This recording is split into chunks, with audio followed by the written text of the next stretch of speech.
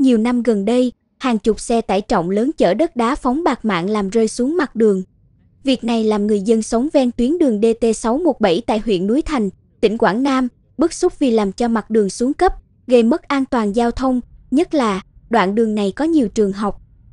Từ phản ánh của người dân, phóng viên báo Sài Gòn Giải phóng đã đến ghi nhận thực tế tại tuyến đường DT617 đi qua các xã Tam Hiệp, Tam Mỹ Tây. Khi vào đến ngã ba tỉnh Sương Trung Lương thuộc xã Tam Mỹ Tây, huyện Núi Thành, có hàng chục xe vào mỏ đất Đại Sơn.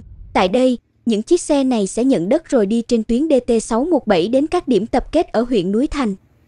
Những xe này chở đất cao hơn thành thùng, che bạc tạm bợ, thường phóng nhanh và bóp còi in ỏi dù đang trong khu vực đông dân cư, có nhiều trường học.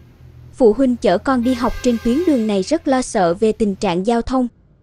Xe cộ nườm nượp qua lại, đất từ trên xe tải rơi xuống đường, trời nắng thì bụi mịt mù. Khi gặp trời mưa hoặc xe tưới nước đi qua, làm lớp bùn đất trên đường trơn trượt. Việc xe trọng tải lớn qua lại thường xuyên cũng làm mặt đường xuống cấp, bong tróc, xuất hiện ổ gà. Trao đổi với phóng viên báo Sài Gòn Giải phóng, ông Lê Bá Phong, Phó Chủ tịch Ủy ban Nhân dân xã Tam Mỹ Tây, huyện Núi Thành, tỉnh Quảng Nam, cho biết Ủy ban Nhân dân xã nhận được rất nhiều ý kiến từ người dân, cử tri, đặc biệt là chính hộ dân sống gần khu vực cửa mỏ.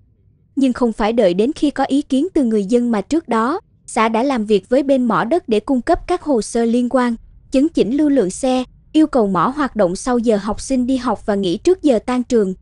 Tuy nhiên, trong khung giờ xã yêu cầu ngừng hoạt động, các xe này vẫn chạy.